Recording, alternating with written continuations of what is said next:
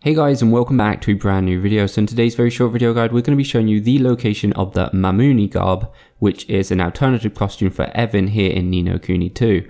So to get this, we will need the Zeppelin. Um, you get this fairly advanced in the story anyway, you obviously can't miss something that important. But once you've got the Zeppelin, you want to come over here to the Desert area, just south of Broadleaf, and yeah, it will be on top of this hill. So yeah guys, hopefully this is helpful. If it is, please go like and subscribe, and we'll see you next time guys.